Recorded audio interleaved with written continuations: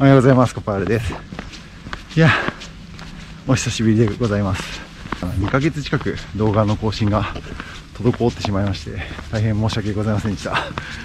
もうやっぱりね、毎年言ってると思うんですけど、まあ、冬場になると、どうしてもね、行動が億劫になって、でそれに合わせて、まあ、12月師走ということで、もうバタバタバタバタしておりまして、全然動画が 更新できずにおりました。すいません。気がついたら12月も半ばを過ぎてるところで、もう間もなくクリスマスというところなんですが、えー、バタバタも落ち着いてきましたので、まあ、動画を再開していこうかなといった感じでございます。で、今日はですね、まあ年の瀬ということで、まあ、定番の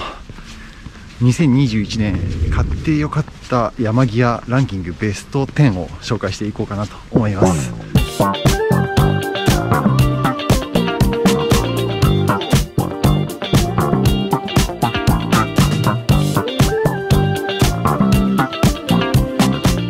えー、2021年度私が買ってよかったもの山ギアランキングベスト10として、まあ、10個のギアを、えー、ご紹介させていただこうかなと思っております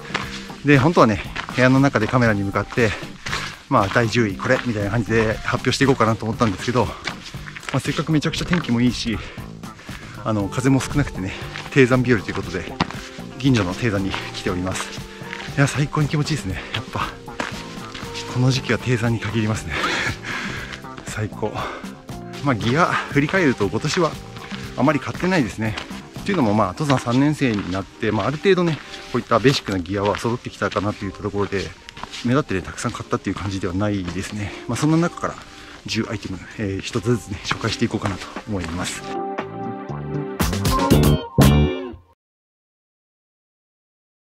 はい、ということで早速第10位から発表させていただこうかなと思うんですが、えー、第10位のアイテムはですね、実はつい先日購入したばかりのものでございます。ただ今後使っていく上で間違いなくこれはいいであろうということで、えランキング第10位に、えぶち込んでみました。はい、ということで、え私的2021年度買ってよかった山ギアランキング第10位。じゃじゃん。iPhone 12 mini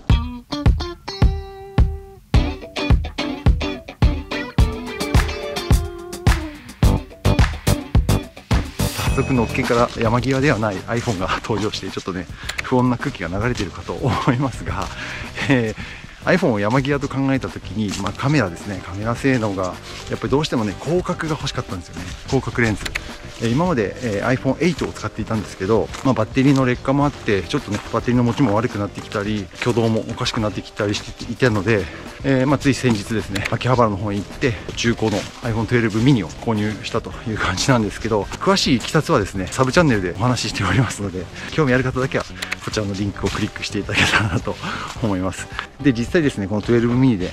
何枚か写真とか動画撮影してみたんですけど、まあ、本当に明らかに8よりもグレードはアップしているなという感じがします。今後ね使っていく上でえ間違いなく活躍してくれるであろうアイテムということで第10位にランクインさせていただきました。やっぱ広角はいいですね。ということで第10位 iPhone12 mini え9位はですね早速この iPhone12 mini のカメラに切り替えないとちょっと紹介できないアイテムなのでカメラを切り替えたいと思います。はい、ということで iPhone12 mini のカメラに切り替えました。え、2021年度、えー、コパール的買ってよかった山ギア第9位。じゃじゃん。モンベルトレッキングフォトポール。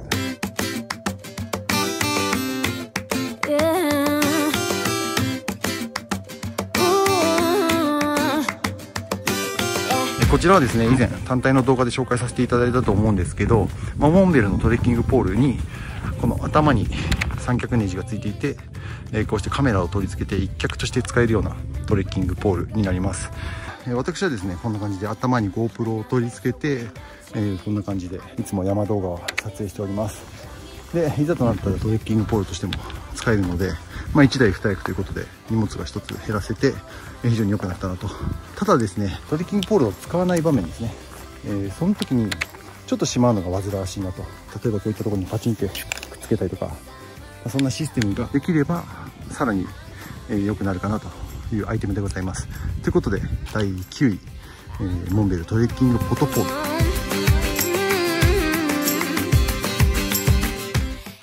では続きまして第8位の紹介をさせていただこうと思います。これはですね、まだ動画では紹介していないので、私の元から紹介させていただくのは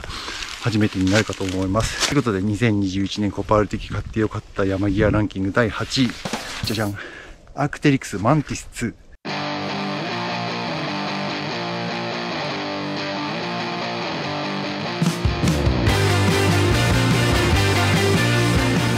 改めて私の元から紹介する必要のないほど知られているであろうアークテリクスのマンティス2、まあ、ショルダーバッグのような、まあ、サコッシュのようなアイテムなんですけどいや人気なだけあって非常に使い勝手がいいですもう小型ながらに非常によく入るショルダーバッグだなと思っております。で最近ね山に行くのにサコッシュ非常にいいなと 改めて感じておりまして小型に見えるんだけどしっかり容量入る、えー、バッグっていうのは探していて評判のいいこちらをね導入してみたんですけど実際にね、まあ、コンデジとか財布鍵あとティッシュとかね、まあ、その辺もろもろ詰め込んで、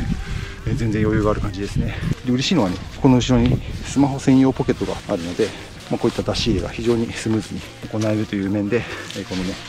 アークテリクスのマンティス2を第8位にランクインさせていただきました。評判通り非常にいいアイテムだなと思います。ただちょっとね冒険するのが臆病な私は無難な黒を選んでしまったことがちょっと悔やまれるんですがもう少し冒険すればよかったな。ということで2021年度第8位ですね。アークテリクスマンティス2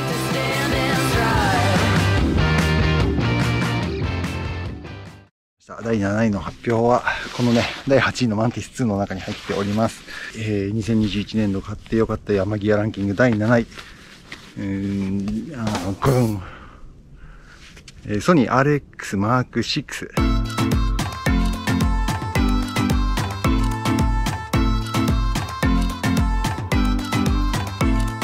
第10位の iPhone12 mini に次いでこうした山で使う撮影機材として、えー、ソニーのコンパクトデジタルカメラ RX100M6 を第7位にさせていただきました、えー、これはですねもう文句なしで抜群にいいです。山での使い勝手は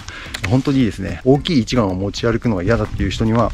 もううってつけだと思います、まあ、おそらく多くの方はカメラはね iPhone だったり Android だったりスマホで済ませてしまっているかと思うんですけど、まあ、スマホと大きな違いはこの望遠性ですね。このカメラは 24mm から 200mm っていう価格で撮影できまして、かつ1インチセンサーっていう大型のセンサーを積んでますので、えー、非常に綺麗な画像で撮影できます。遠くの山の景色とか、まあ、その辺に飛んでる野鳥なんかも、ちょっとね、望遠で狙えることができるので、え非常に使い勝手いいなと思います。まあ、そういった意味では先ほどの iPhone 12 mini の広角と、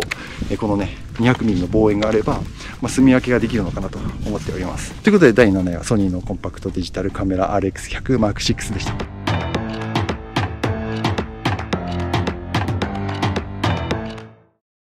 ことで多分ねこれはもう使っていって間違いなく間違いなく間違いなく。間違いなく。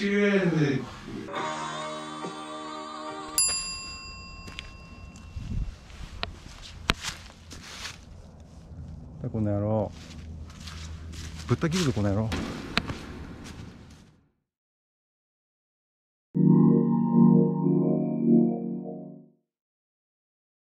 ちょうどいい時間になってきたので、第6位。で、6位はね、このシェルの下に来てるんですけど、今ちょうど暑くなってきたので、脱ごうかなと思います。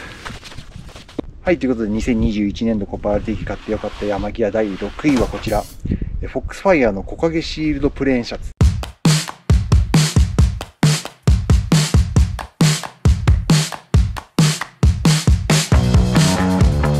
第6位にしてようやくこのねウェア系がランクインということで、まあ、今年ウェア系はね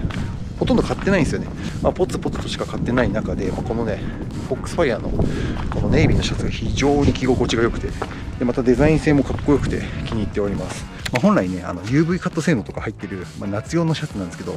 まあ、夏でも非常にサラサラ着られるようなシャツで、ま本当はこういう時期には着るシャツではないんでしょうけど、ま下にあったかいベースレイヤー着ればまあ、こういった低山であればちょうどいいかなといったところで、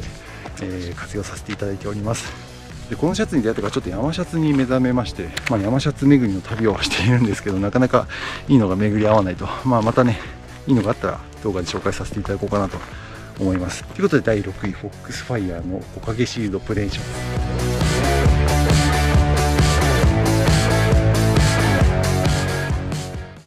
はい、ではですね、今ちょうど5位の発表とともに、あのー、今日のね、里山ハイキングも折り返し地点に来たということで、しかもね、山頂誰もいないので、5位、4位、3位まで一気に発表してしまいたいと思っております。私、コパールが2021年に買ってよかった山際ランキング第5位。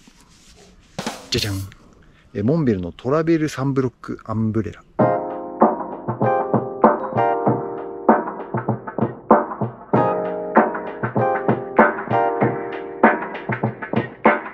こちらも以前動画でちらっとね、紹介させていただいたんですけど、まあ、あの動画の紹介以降、非常に活躍してくれてます。もう街でもガンガン使っております。いつでも持ち歩いているという感じですね。もちろん真夏のね、日差しの暑い時、こういった山頂、何もね、遮るものがない山頂で、ちょっと休憩したいなって時は、広げて、え日陰も作れますし、非常にね、耐久性の高そうな作りもしておりまして、まあ、長く使えるかなと。まあ、ちょっとね、お値段張るんですけど、まあ、その分長く使えるというところで、買ってよかったなと思うアイテムでございます。こんな感じですね。めちゃくちゃね、日差しをカットしてくれます。これはすごい体感できるぐらい。真夏だったら本当に涼しくなりますね。日陰を持ち歩いてるって感覚になるので。で、ちょっと気になるのは、少し面積が狭いので、後ろにザックとか背負ってると、ザックがちょっと濡れちゃう感じがしますね。あともう一点気になるのが、折りたたみですね。折りたたむのが、こんな感じで畳まれて、ワンタッチじゃないんですよね。外側に一回、骨を全部手で折ってあげないといけないっていう。まあ、ちょっとね、これがめんどくさいんですけど、それなりに作りはしっかりしておりますので、まあ、長く使えるかなというところでございます。ということで、第5位、えモンベルのトラベルサンブロックアンブレラ。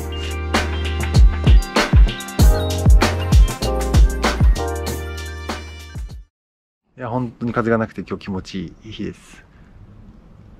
ここでのんびりしたいんですけど、ちょっと人が来る前に第4位の発表をしたいと思います。えー、コパール的2021年買ってよかった山際ランキング第4位は、こちら。ケイル、ソヨ17リッター。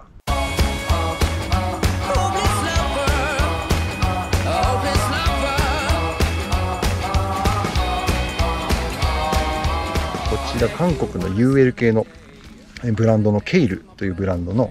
えー、ソヨっていう名前のザックになります。17リッターですね。非常に背負い心地が良くて、あの気に入ってます。で、17リッターっていう大きさもね、ちょうどこういう里山私大好きなので、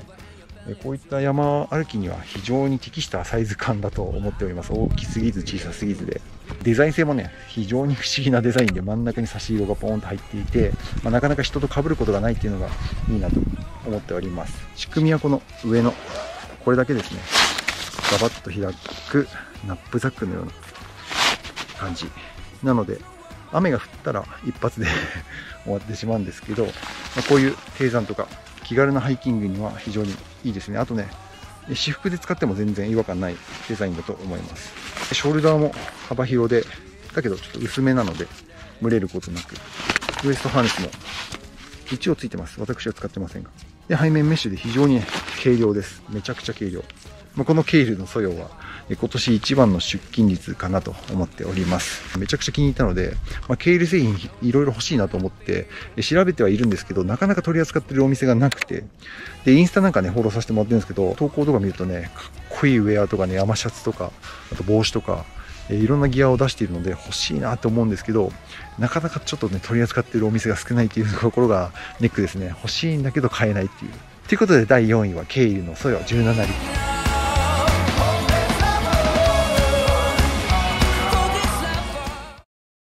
人がいない山頂でポカポカ陽気で風もなく非常に快適に撮影させていただいております。さあ、第3位はこのザックの中に入っているんですが、早速取り出したいと思います。ここかな。2021年度、コパール的買ってよかった山ギアランキング第3位は、じゃじゃん。緑のホーンボトルヒーテックス。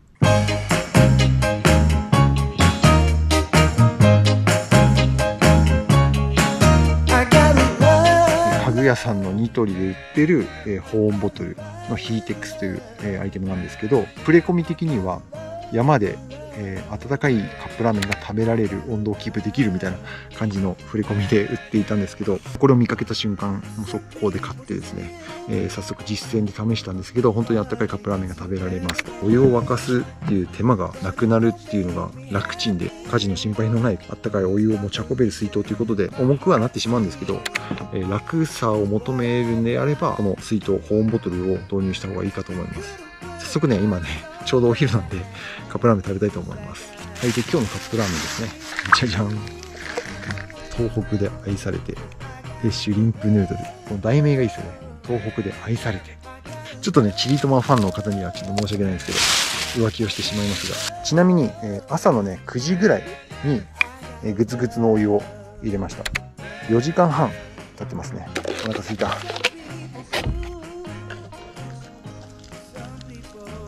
熱々ですね。いただきます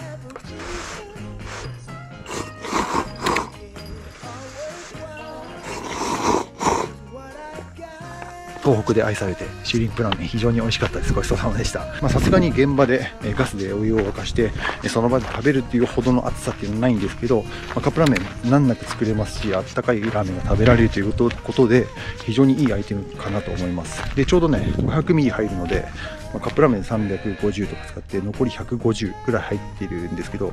これをね下山の時の休憩でコーヒー飲んだりとかそういったこともできますので非常にいいなと思います。ということで2021年の買ってよかったもの山際ランキング第3位はニトリのヒーテックス。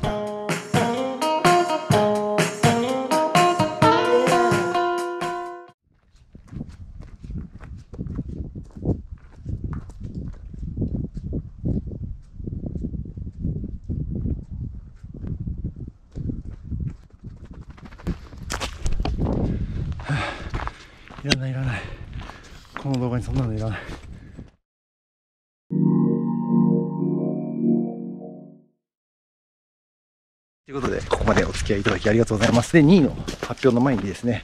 ちょっとね、一気に下山しちゃいたいと思います。下ってから、え2位の発表、1位の発表とさせていただこうかななんて思っております。では、行きます、下山。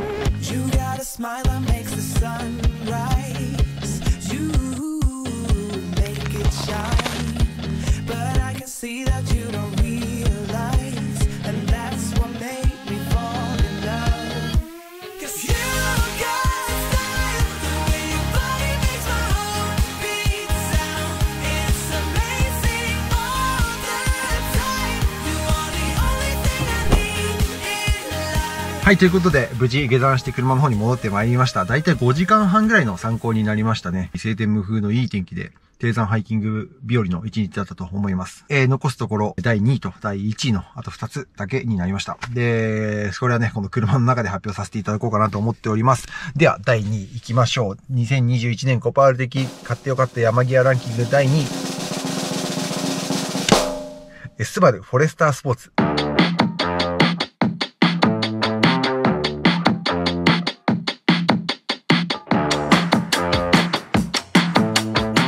はい、ということで、はい、ある第2位は、今まさに乗り込んでいます。こちらのスバルフォレスターですね。で、グレードはスポーツというグレードになります。ターボ搭載車なんですけど、えー、今年の6月に納車されまして、今12月なので約半年間毎日乗ったりとか、あとは週末は家族乗せてとか遊びに行ったりとか、もちろん私自身も山に遠征しに行ったりとかもさせていただいているんですが、非常に快適に走ってくれます。まあ実際に動画にさせていただいているんですけど、えー、八ヶ岳の天狗岳に向かうための、えー、ダートとか、浅間山の浅間山荘に向かうためのダートとかも、この車で走ったんですけど、全然怖くないですね。心強い走破性だと思います。まあまだね、四駆の本領発揮っていうほどのダートを走っていないんですけど、今日もね、赤城山とか南大山とか雪がかかってるのが見えたので、その辺もね、もうこれからはいけるんじゃないかなと、ウキウキしております。えただですね、雪山装備はまだ揃っておりませんので、今季はいけないかなと。まあ今年はちょっとね、雪山の入り口みたいなところぐらいまでしか行けないかなというところなんですけど、まあこのね、フォレスターで早く雪山に行きたいなといったところでございます。あともう一つはですね、高速ですね、えー、遠出した時の高速を走る時のこのアイサイト、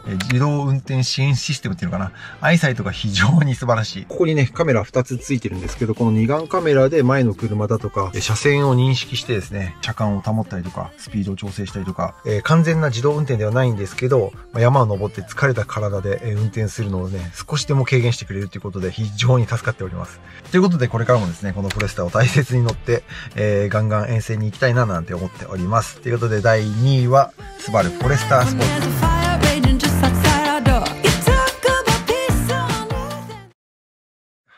はい。ということで、ここまで長々とお付き合いいただきまして、本当にありがとうございます。えー、いよいよ2021年度コパール的買ってよかった山際ランキング第1位の発表でございます。えー、それでは第1位のアイテムはこのね、カーテンの後ろに今置いてあるんですが、このカーテンをめくれば、1位のアイテムが出てきます。いきましょう。2021年度コバル的買ってよかった山際ランキング第1位。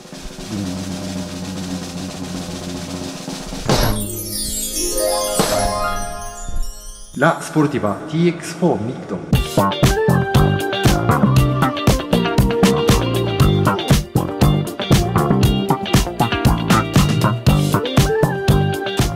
はい、ということで2021年度私的に買ってよかった山際ランキング、もうぶっちぎりの1位ですね。これは本当に買ってよかった。スポルティバの登山靴 TX4 のミッドになります。これはね、本当にいい靴に出会ったなという感じがしております。で今日も5時間半ぐらい歩いたんですけど、え全然足に違和感なくね、もう完全にフィットしてる感じがします。自分に合ってるかなという感じがしております。まあ他の靴ってね、あまり私はまあ登山歴が低いので、えいろんな靴を履き比べたってことはないんですけど、まあ明らかにいい感じにフィットしてるという感じがします。で、あとね、ソールのグリップ性も非常にいいし、まあ、岩場とかザレバ、ガレバなんかも全然難なく歩けます。で、こんな感じでね、ちょっと柔らかいんですけど、芯のある、腰のある柔らかさっていうのかな。しっかりした芯が一本通ってるような感じの柔らかさなので、まあ、足裏も疲れない。変に痛くならないっていうところがいいところかなと。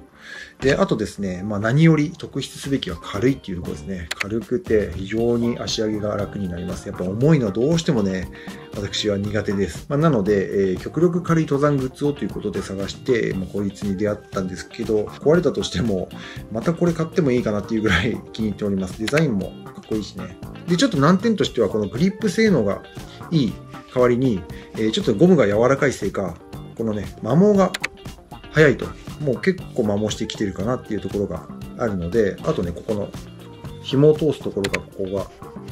紐だったりとか、そういったところでの耐久性という面ではちょっとだけ不安は残るんですけど、今日行ったね、低山のハイキングコースなんか結構しょっちゅう行ってるんですけど、動画にしてないだけで しょっちゅう行ってるんですけど、その時はね、これ実は履いてません。ここがね、減るのがもったいないので、これはね、遠征登山とか、ちょっともうちょっと長時間の参考用に、えー、置いてある状態です。で普段は Amazon のセールで買った5000円から6000円くらいの、えー、アシックスのシューズを履いてるんですけど、なのでこれ実はね、1ヶ月以上ぶりに履いたんですけど、まあ、それでも違和感なくすんなりね、フィットしてくれるので、非常にいい靴だなと思っております。まあ今後もですね、このスポルティバの TX4 ミッドに、えー、いろんなところに連れて行ってもらいたいなと思っております。はい、ということで全10アイテムを紹介させていただきました。えー、ここまで長々と動画のお付き合いいただきまして本当にありがとうございました。